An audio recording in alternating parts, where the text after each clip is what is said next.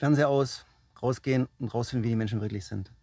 Zum Beispiel, wenn du Richtung Iran fährst, wo jeder irgendwie die Hände über dem Kopf zusammenschlägt und sagt, oh mein Gott, ihr fahrt in den Iran. Mit Kindern. Mit Kindern. Und da rennen doch alle irgendwie, ne? Und dann fragen dich die Iraner dann, sag mal, hast du eigentlich schon mal so einen hier gesehen? Dann diese euch in den Nachrichten zeigen, so mit den Bärten und den Bombengürteln. Und du sagst, nee, wo habt ihr denn die?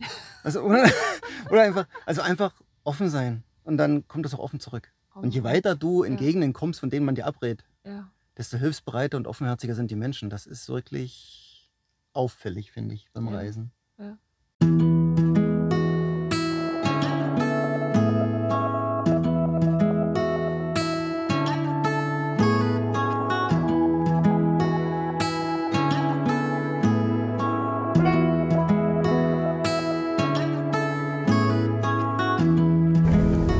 Hallo, ich bin der Tino. Hey, ich bin die Lena. Ich bin die Anne. Ich bin die Juli. Hallo, ich bin Madita.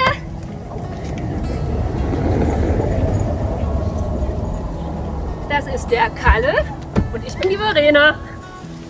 Das ist der Eddie. Und wir leben in diesem Wohnmobil.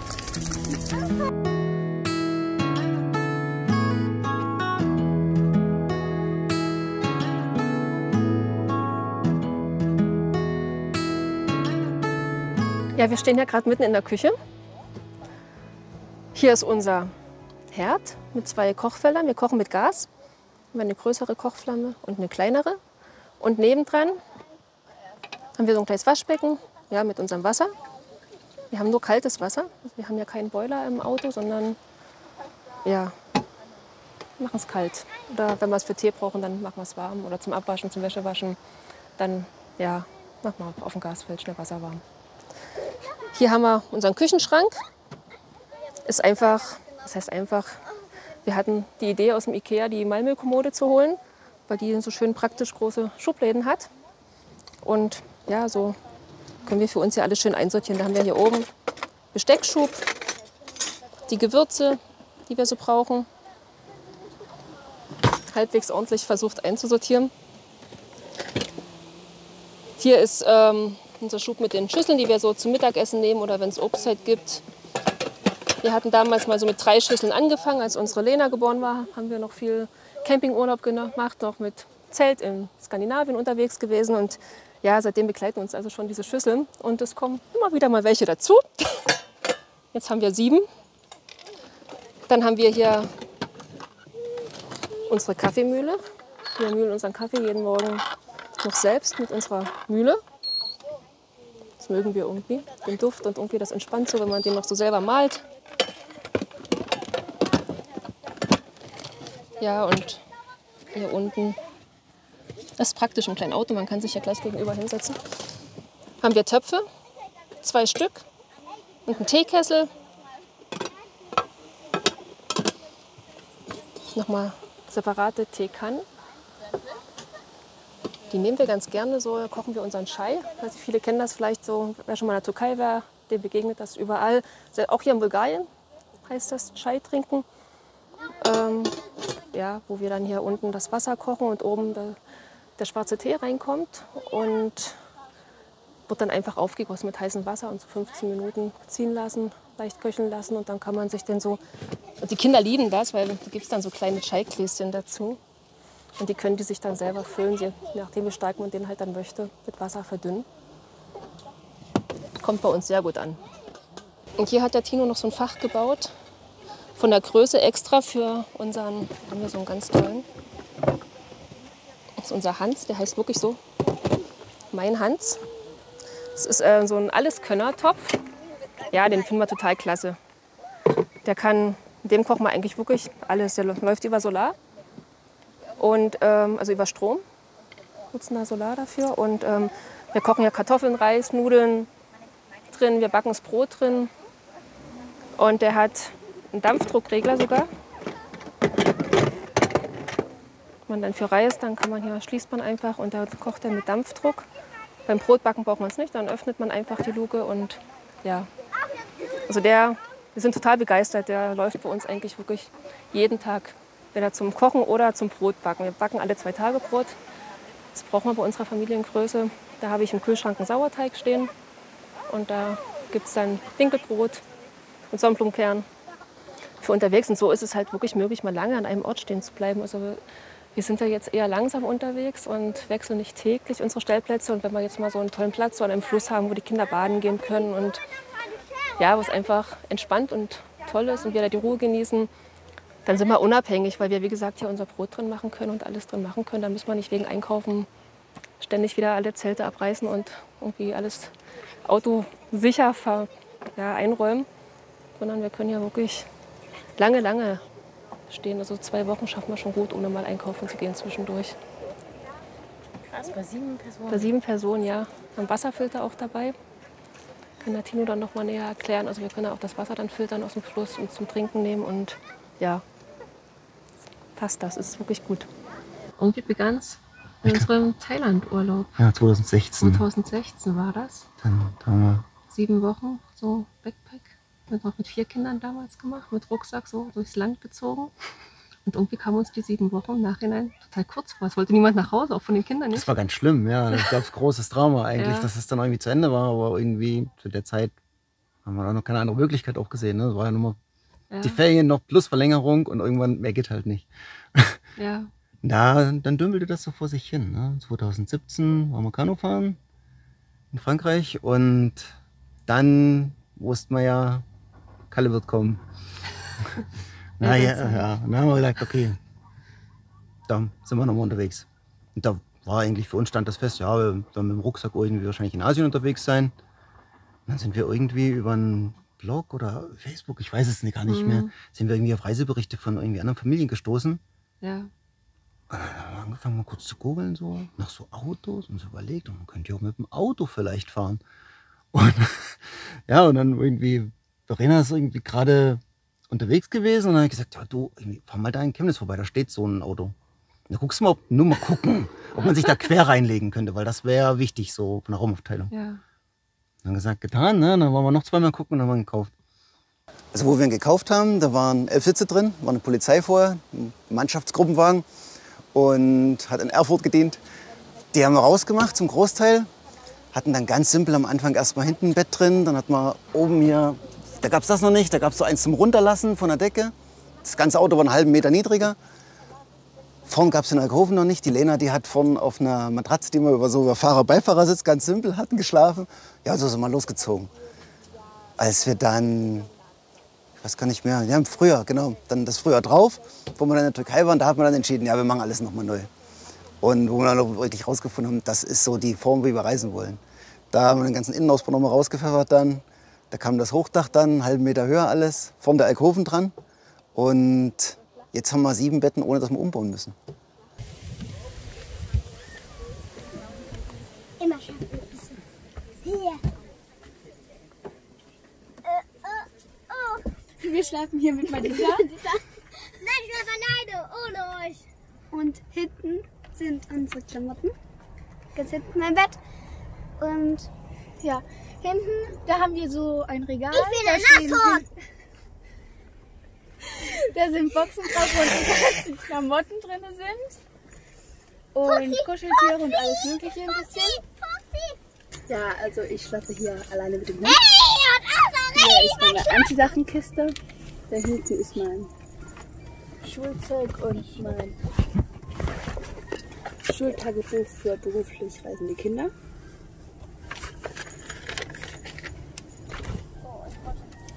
Und ja, wie viel bei noch so Krimskrams. Wie ist es denn, wenn man als Einzige ein eigenes Zimmer hat? angenehm. also es ist entspannter, wenn man sich mal so zurückziehen kann oder alle anderen. ist bei uns noch ein bisschen anders, weil wir jetzt unterwegs auch arbeiten und mit letztendlich einer Arbeit, die auch eine Reisetätigkeit erfordert. Und wenn das der Fall ist, dann nennt sich das sozusagen beruflich reisend. Und das kann man ganz offiziell beim Ministerium, beim Bildungsministerium dann anmelden. Sprich, die Kinder sind ganz normal in der Schule, die bekommen auch Schulaufgaben gestellt dann und dann die Unterstützung von der Schule, wenn sie nötig ist, wenn wir was nicht abdecken können. Und sobald sie in Deutschland sind, unterliegen sie dann auch der Anwesenheitspflicht, wenn sie nicht in Deutschland sind, weil wir reisend unterwegs sind. Beruflich sind sie mit uns. Es gibt aber auch vom Ministerium, also es gibt direkt vom, vom Land, vom Bundesland dann nochmal Lehrkräfte, die auch über die Ferne auch betreuen, wenn, wenn man das möchte. Das sind die gleichen Lehrkräfte, die zum Beispiel zu den, zu den Schaustellerfamilien hinfahren, die, die zu Zirkusfamilien hinfahren. Und die können auch in gewissem Maße dann sowas auch aus der Ferne unterstützen, dann, je nachdem, wie man das braucht.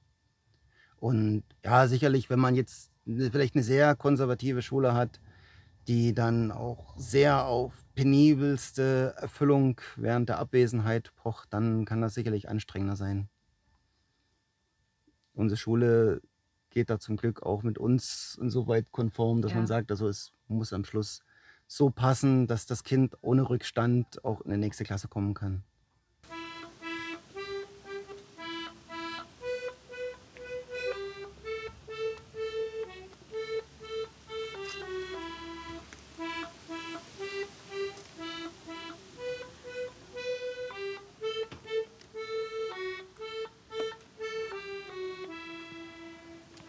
Wirklich Phasen, in denen rennst du eigentlich gegen die Wand. Dann kommen wir dann auch zu dem Punkt, wo man einfach sagt, wir lassen das jetzt mal eine Weile sein. Und dann gibt es halt Phasen, wo, wo wirklich, zum Beispiel die Juli, also das ist jetzt, das ist richtig krass. Ja. Die hat in, in drei Wochen hat die fast den ganzen Jahresstoffen in Mathe durchgemacht. Die hat wie eine Irre sich auf Mathe gestürzt. Die hatte so eine Freude dran, das hat dir dann so einen Spaß gemacht. Dass es Die wollte gar nicht aufhören. Und dann hast du immer hat gesagt, oh, ich kann nicht mehr, Mathe, ich kann nicht mehr, aber ich will nicht aufhören heute. Und dann, das ist irgendwie, Ja, das weil krass. davor, die ist uns wirklich anders. Und ähm, das passte dann auch so gar nicht in unser Bild davon. Aber das geht auch wieder. Dass solche Phasen kommen und gehen. Ja, jetzt ist wieder ruhig um das Thema Mathe. Ja, jetzt ist das Thema Mathe nicht mehr ganz so beliebt auf einmal. Und Ja. so denke, es wäre schwierig, wenn man jetzt wirklich sagen müsste, ja, wir müssen jetzt in der Woche das und das machen. Und so sind bei uns die Aufgaben eigentlich auch von den Zeiten wirklich so, dass wir ja eher in so in Monatsbereichen oder so dann uns das einteilen können dann. Das ist auch für die Kinder schön. Aber gerade, weiß ich, du bist irgendwo an einem schönen Platz oder so, dann, dann haben sie auch keine Lust. Oder wenn du irgendwie mal irgendwie viel fahren musst oder so. Oder wenn wir gerade sagen wir mal, beruflich dann viel zu tun haben, Mhm. mal Ja, das irgendwo, sich dann, dass du nicht helfen kannst und so, dann Ja. und so hast du immer so ein Auf und Ab. Naja, es ist ein ganz normaler Haushaltskühlschrank, den wir hier eingebaut haben. Ja. Und unter den Sitzbänken, also den Sitzbank hier oben kann man so anheben. Und hier haben wir jetzt, naja, so ein bisschen Nahrungsmittel, was sich hält, was nicht gekühlt werden muss. So Mehl und Nudeln und Reis und Linsen und Kaffee. Das verstauen wir alles dann hier drunter. Für die Privatsphäre einen kleinen Vorhang. Und hier haben wir unsere so eine ja, Trenntoilette mit zwei Behältern. Kennen bestimmt viele von euch. Ja, genau. Funktioniert einwandfrei. Dusche haben wir nur eine Außendusche. Reicht uns aber im Sommer. Die ist schnell hinten angebracht am Auto und ja. Wie habt ihr das im Winter gemacht in Griechenland? Ähm, da standen wir ja viel am Strand. Wir sind da im Winter auch viel baden und ja, im schönen Wetter, wir duschen da trotzdem draußen. Also da sind wir hart, man gewöhnt sich dran. also wie man sieht, wir haben so Mensch ärgert Spiel dabei. Wir haben Playmobil dabei, das steht draußen auf der Decke, das haben die Kinder. Wir haben eine Kiste mit ein paar Büchern dabei, gerade für die größeren so zum Lesen. Und ähm, ansonsten zeige ich mal, müssen wir mal kurz hier hintergehen. Haben die hier unten, ja, wir stehen bergab, deswegen so Malschub, also hier sind Stifte drin und Papier und Ausmalhefte. Die Mädchen, die malen alle sehr, sehr viel und gern. Und hier ist dann so eher ein Fach für äh, Kalle und Madita. Also hier ist dann so ein paar Lego-Autos und so kleinere Spiele. Das sind so oft so na, Kartenspiele. Hauptsächlich Uno und haben wir noch hier drin und kleine Püppchen. Ansonsten spielen die Kinder eigentlich die meiste Zeit draußen. Also wenn wir neu am Platz ankommen, da sind die meistens erstmal verschwunden. Da wird erkundet, da wird ein Geheimversteck gesucht und da wird eine Bude gebaut oder am Strand Muscheln gesammelt, Steine gesammelt und dann werden Steine bemalt und Muscheln bemalt. Ein paar haben wir hier ausliegen, zum Beispiel in unserer Pfefferminze. Wobei wir sagen müssen, dass wir eigentlich schon sehr gut harmonieren, alle zusammen, also auch die Kinder untereinander. Also es ist jetzt nicht so, dass jetzt hier irgendwie jeden Tag Streitereien sind und Ja. irgendwie jemand eingeschnappt ist oder so. Das ist nur nicht der Fall. Das ist richtig.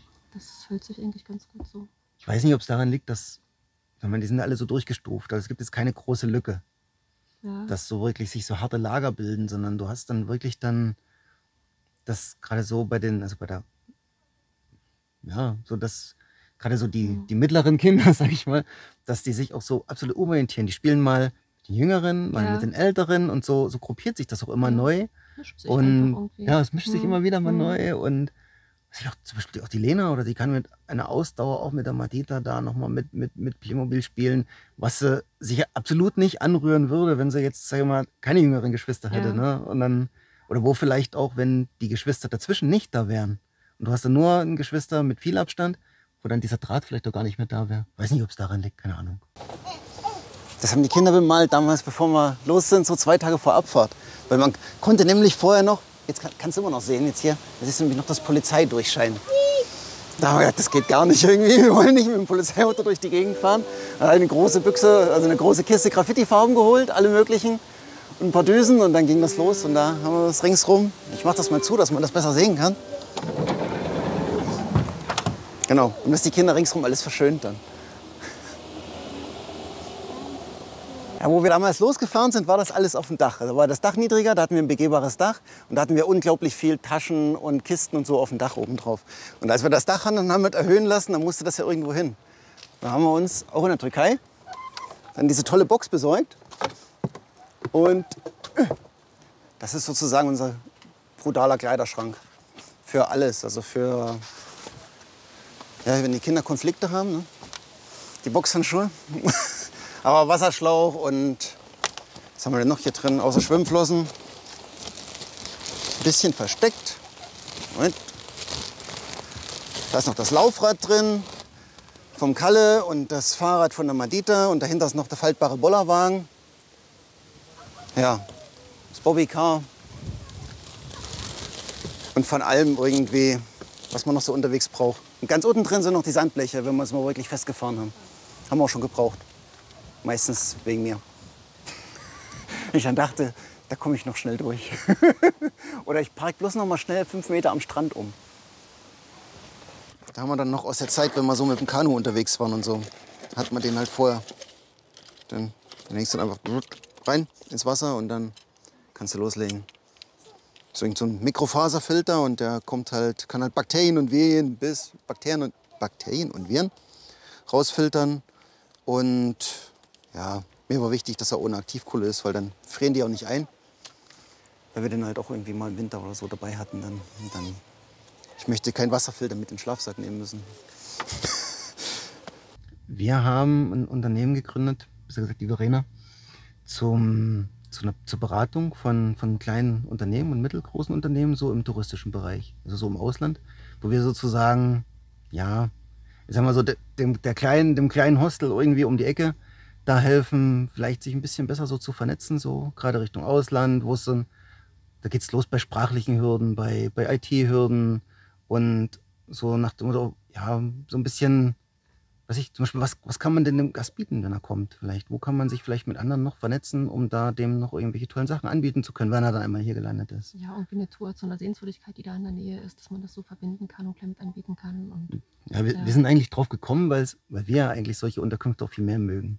Und was das irgendwie auch bunter macht dann, ja. Und dann, ja. ja, Gut, ist jetzt seit jetzt hier. war jetzt dieses Jahr schwierig.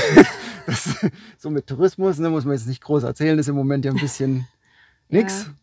Und bei uns dementsprechend im Moment auch sehr trübe.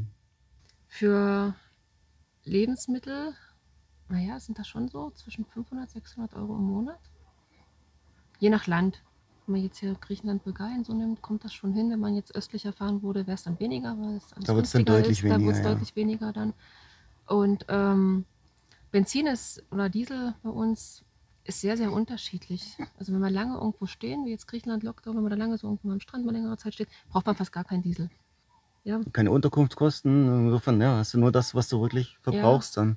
da reichen die 1000. Ja. Ja. Und toi toi toi, also unsere Frieda hier, unser Auto begle- begleitet uns auch fast reparaturfrei bisher. Ja. Also wir hatten minimalste Sachen.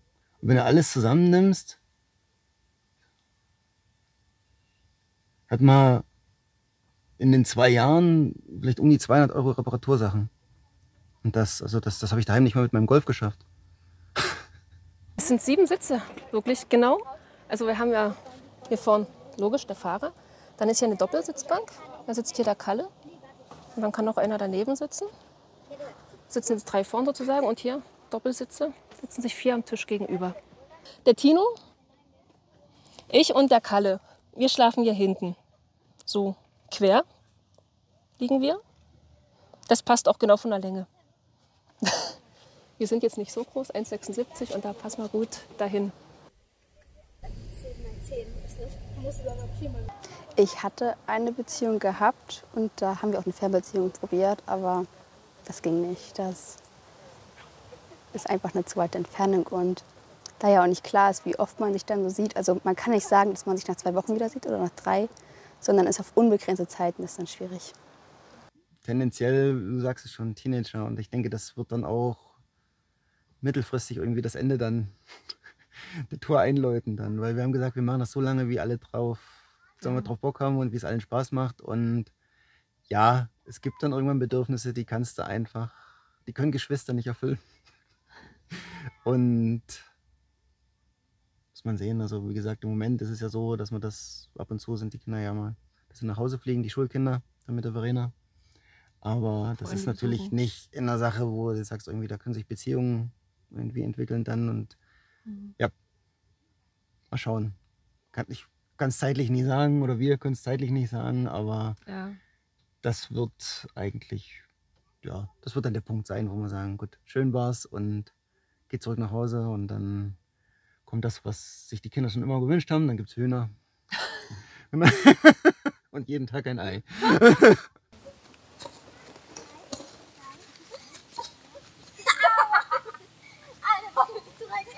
Das Wetter ist auch so der Hauptfeind. Ja. Also, sagen wir, wenn es dann wirklich mal so den Länger zweiten. Tag, dritten Tag hintereinander wirklich schifft, dann wird's bitter. Dann merkt man, dann fehlt einfach die Bewegung. Ja, dann und fehlt die kann Bewegung. sich und keiner mehr das, das, ausweichen. und das kann man doch und- nicht mehr schönreden. Nee, das ist dann, dann wird es ein bisschen anstrengend, ja. Dann freuen wir uns, wenn vielleicht ein WLAN in der Nähe ist. Ja, Ja, kann man einen Film gucken oder so, aber sonst.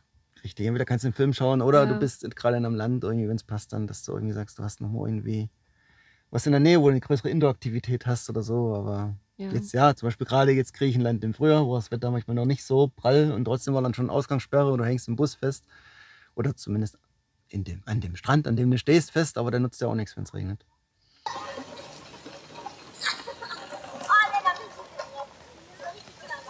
Also es gibt Momente, die, ja, die irgendwie nervig sind, wenn du zum Beispiel irgendwie keinen Platz findest. So. Wenn du dann irgendwie so fährst, fährst und irgendwie, du willst eigentlich schon lange angehalten haben und irgendwie ist nicht geklappt. Die Kinder haben Hunger. Die Kinder haben Hunger, die Stimmung kippt, weil irgendwie der, der Blutzucker abfällt. Und, und Ja. ja, und dann kommst du irgendwo an und denkst, hier ist schön und dann ist es dann doch nicht schön. Und das, sowas, sowas, ist, sowas ist nervig. Das, dem versuchen wir aus dem Wege zu gehen. Wir machen eigentlich, wenn wir fahren, immer so eine Zwei-Stunden-Fahrt höchstens. Und dann, dass wir auch wirklich genug Zeit haben, um dann irgendwo was zu finden. Und am Schluss, ja, was wir mittlerweile auch, wir können auch mal ganz easy auf dem Kaufheim-Parkplatz stehen. So bei Kaufland und Ja. haben da auch kein schlechtes Gefühl. Und dann, also wir haben nicht, wir müssen nicht jeden Tag so einen Vanlife Instagram-Parkplatz haben. Und dann, Nein, die Kinder freuen sich zum Frühstück über Croissants aus dem Kaufland. genau, da gibt's halt, genau, da gibt's zum Frühstück Croissants und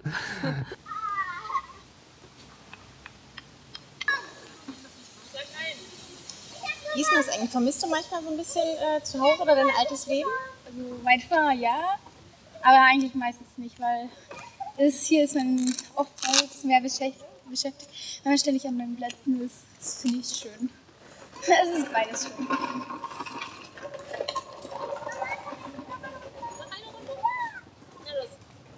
Wir wussten auch nicht, ob es funktioniert. Also wir haben uns aber auch gesagt, also uns war im Vorfeld klar, ja, wenn das jetzt nicht klappen sollte und wir uns hier alle auf den Geist gehen und merken nach drei Monaten, oh, wir streiten uns nur und das geht alles überhaupt nie. Wir hatten Rucksäcke dabei, also wir hätten das Auto irgendwie stehen gelassen, verkauft, was auch immer und wären irgendwie nach Thailand geflogen.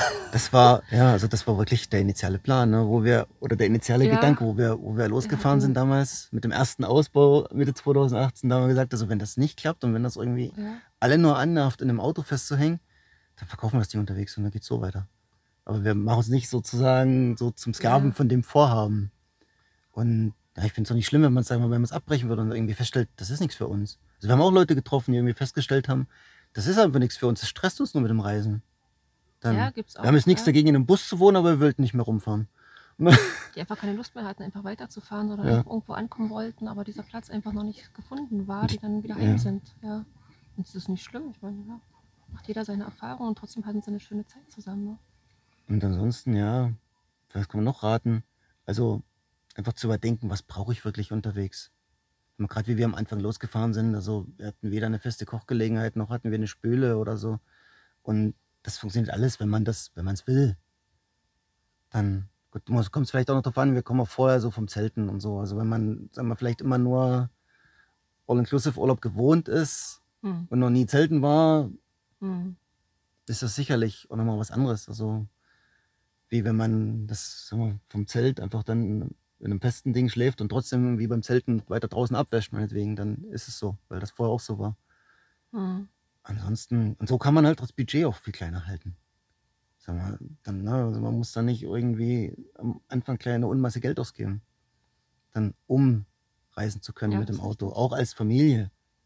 Haben wir auch Familien getroffen mit brutal spartanischen Ausbauten. Ja, Dann, und das funktioniert genial. Also, ist eine Gewohnheitssache. haben eine Familie mit dem Dachzelt getroffen, mit vier mit Kindern. vier Kindern, ein PKW und Dachzeit drauf und dachte, wie viel steigen aus diesem Auto aus?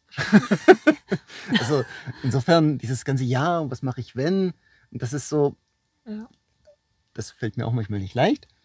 Dann die Verena ist da eher so der Macher bei uns. Und die dann sagt, jo, das machen wir jetzt einfach. Und dann, aber je mehr man drüber nachdenkt, desto mehr Sachen fallen einem ein, was dann irgendwie schiefgehen könnte und was ein Problem sein könnte. Ansonsten, was man immer raten kann, nicht zu viel Plan zu machen. Also auch so von der Reiseroute.